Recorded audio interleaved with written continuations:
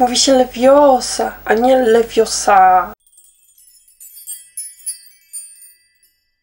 Ohaj, witajcie na kanale Book Please i dzisiaj zapraszam Was na pierwszy odcinek Potteromanii, gdzie będę porównywać pierwsze części filmu i książki, czyli Kamień Filozoficzny. Żeby było chronologicznie, to zacznę od książki. Harry Potter jest sierotą. Jego rodzice zostali zamordowani przez czarnoksiężnika, którego imię każdy boi się wypowiedzieć. Voldemort również próbował zamordować chłopca, jednak to mu się nie udaje i sam ginie, a chłopcu pozostaje blizna w kształcie błyskawicy na czole. I przez to również Harry staje się bardzo słynnym czarodziejem, chociaż sam nie ma pojęcia o tym, że jest e, czarodziejem, ponieważ jest wychowywany przez wujostwo, którzy nie mają nic wspólnego z magii i chcą być dalecy od tego. Pierwszy tom Harry'ego Pottera, Kamień Filozoficzny, jak czytałam za dziecka, bardzo mi się podobał.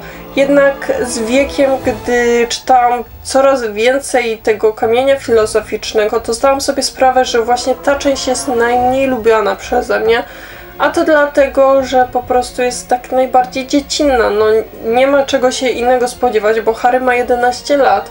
I tutaj wszystko zostało tak zapoczątkowane. E, mamy tutaj te pierwsze spotkania z magią, te pierwsze wyprawy na ulicę Pokątną, pierwsze spotkania w Hogwarcie i tak dalej, i tak dalej. No i przygody głównych bohaterów, czyli Harry'ego, Rona i Hermiony nie są aż tak bardzo niebezpieczne jak w przyszłych tomach. Jednak mam sentyment do tej części i nie wyobrażam sobie rozpoczynania maratonu Harry'ego Pottera od, nie wiem, drugiej części, którą uwielbiam i w przyszłym tygodniu będę ją Wam prezentować. I po prostu jednak muszę rozpocząć tego Harry'ego Pottera od kamienia filozoficznego, bo to jest taka esencja e, i strasznie szybko mi się czytało tę książkę. Nie wiem, czy to dlatego, że już po prostu znam ją praktycznie na pamięć. Chociaż czytałam tę książkę niezliczoną ilość razy, to nadal mi się podobała, chociaż właśnie jest to jedna z mniej lubionych części. Zaraz po niej albo przed nią jest Więzień Azkabanu, ale to Wam wytłumaczę dopiero jak będzie recenzja właśnie Więźnia Azkabanu. No I wszystko zostało tutaj naprawdę fajnie zarysowane, ten początek, to jak Harry dowiedział się, że jest czarodziejem, jak te pierwsze przygody, było śmiesznie, ale jeszcze nie było aż tak śmiesznie i nie było aż tak niebezpieczne, ale jak na jego wiek 11 lat, to jednak trochę było to niebezpieczne, nie oszukujmy się. I to było naprawdę fajne, więc zawsze przyjemnie mi się wraca do Hogwartu i czyta te pierwsze strony o tym, jak Dursleyowie są po prostu dalecy od bycia nienormalnymi, chcą być jak najbardziej normalni i tak dalej, i tak dalej.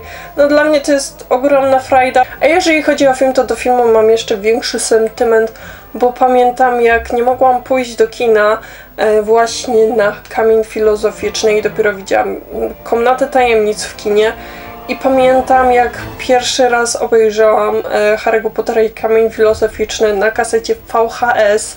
E, wtedy jeszcze nie było DVD albo DVD wyszło jakoś znacznie znacznie później albo trochę później, nie jestem teraz pewna, to było tyle lat temu.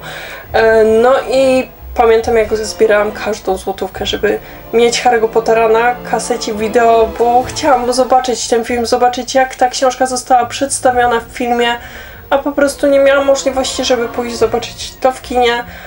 No i nie byłam zawiedziona. Oczywiście na pierwszą część trzeba jednak e, troszeczkę przymknąć oko, chociaż została ona bardzo wiernie oddana. Jedynie tam momentami są takie nieścisłości albo są po prostu wycięte sceny, co czasami było denerwujące, na przykład podczas lekcji eliksirów, gdzie e, Snape pyta Harry'ego, co to jest to, co to jest tamto, gdzie znajdziesz to i tamto i tak dalej.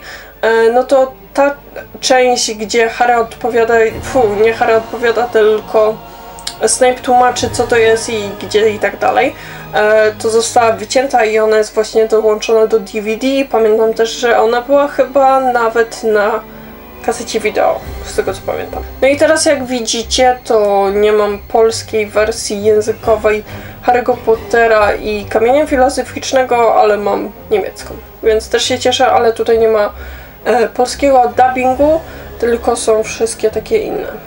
A polskiego nie ma. W sumie mi to nie przeszkadza, ale jednak chciałabym mieć polską wersję, bo uwielbiam polską wersję, jeżeli chodzi o dubbing e, w Harry Potterze. I zawsze jak czytam książkę, to słyszę właśnie te głosy, które były podłożone w filmie I to jest takie po prostu cudowne, jak się czyta i słyszy się głos Dumbledora, głos Hagrida i ma masakra. A wracając jeszcze na chwilę do książki, to powiedzcie mi, kto z ręką na sercu czytał Dumbledore? Tak, ja czytałam jak była mała Dumbledore, bo nie wiedziałam jak się czyta Dumbledore, więc nie można powiedzieć, że film został zrealizowany idealnie krok po kroku, tak jak jest w książce, ale wiadomo, że tego się nie da zrobić.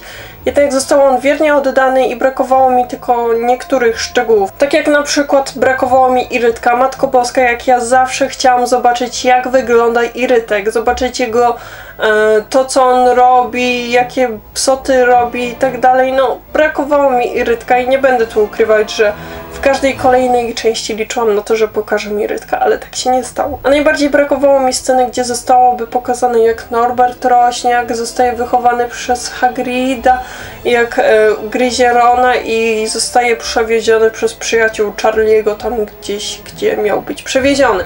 No brakowało mi tego, nie będę ukrywać ale też podejrzewam, że tu chodziło o kwestie finansowe i trzeba by było siedzieć nad tym dłużej i więcej pieniędzy w to zainwestować, więc po części to rozumiem, ale brakuje mi tego i wkurzało mnie to, że Neville został zamieniony na Rona. No ja wiem, że pewnie Ron dostał za to większą garzę niż Neville, ale no chociaż to by mogli, ale też później jakby wytłumaczyli to, że Neville tam jest zamiast Rona. No właśnie. Więc troszeczkę nieudogodnień jest w tym filmie, ale jednak jak się to ogląda, to to nie przeszkadza. Co do moich ulubionych scen, to mam mnóstwo ulubionych scen. Jeżeli chodzi o film i książkę, to praktycznie one się pokrywają. Więc mamy tu scenę z szybą, po, przy której zawsze płaczę ze śmiechu. E, następnie wejście na ulicę Pokątną. Jak ja bym chciała wejść na ulicę Pokątną i tam wszystkie te sklepy oblecieć to byłby shopping roku i całego życia i innego shoppingu bym w życiu nie chciała, tak jak wejść na ulicę Pokątną, pójść do Gringota, e, pójść do Ollivandera, zakupić swoją własną różdżkę, no po prostu to mi się tak marzy, ale wiem, że to mi się nie spełni, bo to nie istnieje, ale co tam. Każda scena z ucztą w wielkiej sali to o mój Boże, ja bym chciała wejść do wielkiej sali i zjeść te wszystkie potrawy, to jest przecież rajd dla takiego obżartucha jak ja, no... Mój Boże, co ja bym tam zrobiła? Ile bym się najadła? Lekcja latania jest moją ulubioną w właśnie w filmie, bo tam Ron dostaje tą miotłą po łbie, ale no po prostu też płaczę wtedy zawsze. No i oczywiście lekcja z Wingardium Leviosa to jest o mój Boże, uwielbiam jak jest ta lekcja musi Leviosa, a nie Leviosa i tak dalej chyba powiedziałam to odwrotnie. Nieważne. A jeżeli chodzi o taką pojedynczą scenę w książce, która uwielbiam, a w filmie została tak skiepszczona, to e, w książce uwielbiam to, jak mamy Quidditch. Uwielbiam mecze Quidditcha. Jakby to istniało naprawdę, to bym była taką wierną fanką, że chodziłabym na każde mecze, oglądałabym wszystko w telewizji, jakby to, to transmitowali, ale no tak nie jest. Ja wiem, że są ludzie, którzy ćwiczą Quidditcha, ale na trawie, więc to się nie liczy. E, ale no, jakoś co mnie nie bawi, żeby oglądać Quidditcha na trawie. Chciałabym zobaczyć takiego w powietrzu. Nie wiem, jakby się unosili, czy na samolotach, czy na czym, ale fajnie by było zobaczyć Quidditcha w powietrzu, a nie na trawie. No i w filmie to nie zostało aż tak fajnie odegrane, e, bo jednak te komentarze Lee, Jordana e, są rewelacyjne, jak McGonagall musi go uspokajać. No i po prostu uwielbiam to, bo zawsze się przy tym bardzo śmieję i uważam, że to jest jedna z lepszych scen w książce. No a w filmie tego tak nie pokazali. Ja rozumiem, że nie mogą pokazywać każdego meczu Quidditcha i po prostu też nie ma na to zbyt wiele czasu i te, do tego potrzebne są e, wielkie, nie wiem, jakieś techniczne sprawy, na których ja się nie znam. W sumie jakby książka i film były idealnie zrobione, to prawdopodobnie film by trwał 7-12 godzin. Mogliby to podzielić na części, nawet pierwszą część. Ale i tak lubię pierwszą część. I jak później będę powtarzać tą rozmowę z Dumbledorem, e, są moimi ulubionymi końcowymi scenami, bo uwielbiam właśnie jak jest prowadzony dialog między Dumbledorem i Harrym. No wtedy to O mój Boże, uwielbiam. Nie mogę jeszcze zapomnieć o tym, żeby powiedzieć, że soundtrack do filmu Harry Potter i Kamień Filozoficzny jest genialny. Oczywiście do każdej części jest genialny, bo jest taki unikalny i bardzo charakterystyczny dla Harry'ego Pottera.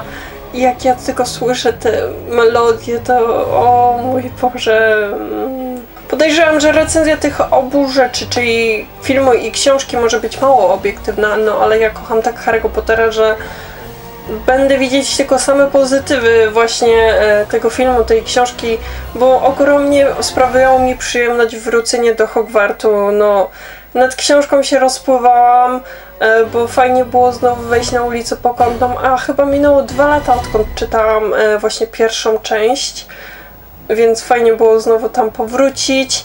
Chociaż tak jak powiedziałam, nie jest to jedna z moich ulubionych części. Kocham części parzyste, więc teraz wiecie, które najbardziej będę chwalić. Film został również fajnie odwzorowany, jestem z niego usatysfakcjonowana. Jak byłam dzieckiem, też byłam usatysfakcjonowana. Jedyne, co mi przeszkadzało, to reklamy w telewizji, ale to nie ja mam na to wpływ.